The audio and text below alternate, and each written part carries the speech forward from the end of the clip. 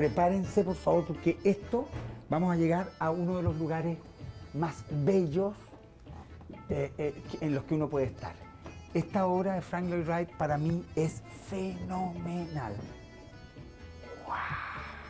No, no, esto es muy bonito. La escalera llega, por supuesto, la escalera está en el medio de la casa.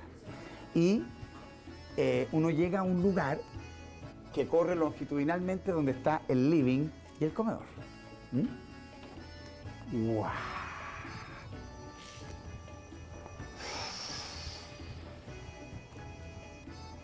Es absolutamente...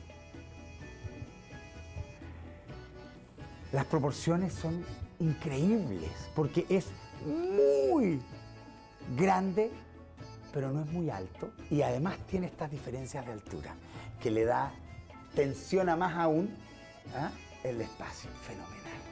Y fíjate cuando estás parado acá y miras en esa dirección y mira por dónde entraste, el hall, que sigue siendo un espacio de compresión, y cuando entras acá se abre el espacio, la luz, y fíjate la continuidad. Sí en la mejor orientación que es el este y que estaba mirando hacia lo que era el Midway Pleasant. Ahora, a mí lo que me alucina de, esta casa es que en esta casa, voy a decirlo en chileno. A ver. Tengo la sensación que Frank Lloyd Wright tiró toda la carne en la parrilla. O sea, aquí, aquí dijo quinta a fondo. Porque, porque está todo lo que vamos a ver en su arquitectura. I'm trying to say that for me this is maybe the moment that Frank Lloyd Wright puts everything because here we can see yeah. the the continuity of the space. Yeah, you connect. The the the the light, the Japanese influence. Yeah, there's a rhythm and a balance. O sea, esta es una casa absolutamente esta es una casa absolutamente japonesa. Espacialmente es absolutamente japonesa. It feels very much like a concert. Yes. Of light, glass, air, I mean everything. A mí lo que más me alucina es esta decisión de generar este gran espacio longitudinal, que además es muy bonito porque uno podría pensar que lo razonable era, era, era ver tomado la opción de dejar el living y el comedor abajo. Pero él lo sube para ponerse a la altura de las copas de los árboles, asumo. Eso es típico de la arquitectura de Wright, porque las casas de Wright no tienen basement. Wright consideraba que los basements eran espacios húmedos y oscuros los áticos eran espacios que la gente acumulaba cosas que no necesitaba. Entonces lo que hizo es, al levantar la casa, ponía las funciones del basement en el primer piso. Y en el segundo piso ponía los espacios públicos, donde tenías privacidad y las mejores vistas. Y además eso al, expresivamente le da a la casa una cintura alta. ¿Te fijas? Como, como yo siempre digo, como los autos deportivos, que tienen la cintura alta y el techo bajito. Entonces quedan unas ventanas pequeñas y la casa se alarga, ¿cierto? Es, realmente increíble. Ahora, lo que quiero es que veamos esto, que es la chimenea que está al medio, justo delante de la escalera, y que por lo tanto se genera esta continuidad. Este lugar que es absolutamente japonés, absolutamente japonés, es una especie de templo japonés. Esta continuidad que yo creo que no hay nada más bello, y luego el comedor.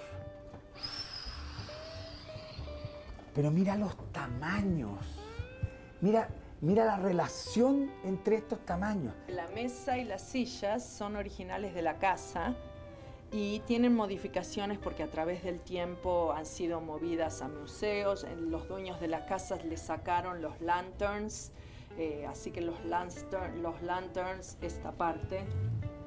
Es que cuando tú dices los dueños de la casa, que es muy importante, la familia Roby no vivió mucho tiempo en esta casa. 11 meses. Claro, 11 meses. About 14, 11 to 14. Um, ok, entre 11 y 14 meses. Yeah, right. Uh, so they lived here about 14 months, unfortunately, with Roby's father passing away. Yeah. He took on so much debt. One of the things they had to do was sell the house. ¿Hay algún registro de por qué él trabaja esta mesa con estas lámparas o linternas? ¿Hay, algún registro de, vos acá no lo podés hacer, pero en el Home Studio tuviste la experiencia de room with de sentarse y la intimidad que se genera alrededor de la mesa. Y este es el mismo concepto. Ya, o sea, es generar un espacio ahora a la escala de, de ese rito. Sí. Y en cada casa más o menos usa el mismo concepto, lo manifiesta de, diferentes maneras. Acá ves las sillas son diferentes de las que viste al Home Studio, pero, la misma idea de crear una pared virtual alrededor de la mesa. Y son absolutamente Macintosh. Y quiero que hablemos de esto, quiero que hablemos de estos plafones, no sé cómo llamarles, serán unos plafones, ¿no? Continuos, que asumo que son lámparas. Es recess lighting. Yeah, lay lights. Lay lights. Eh, ¿Cómo, podríamos Tendría que haber hecho Google. Es como lo mismo que viste en el Home Studio que estaban las luces que están, forman parte de la arquitectura, pero fíjate la continuidad que genera acá. Claro, pero Esto lo tenés que ver de pero noche. Estas, pero estas son lámparas. Sí, sí, sí, es todo luz artificial. por eso lo que pasa es que genera distintos tipos de luz artificial. Tenés esta luz artificial continua sí, y que si mirás... Tienes este otro. Mirá el piso y cómo las alfombras van en relación a lo que es esta zona de circulación.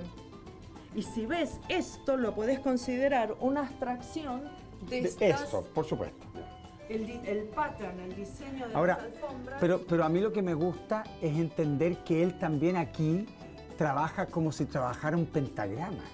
Y por, lo tanto, y por lo tanto lo que él quiere es reproducir la luz que se genera eh, abajo de un árbol, por ejemplo. Es decir, con una textura que efectivamente sea natural.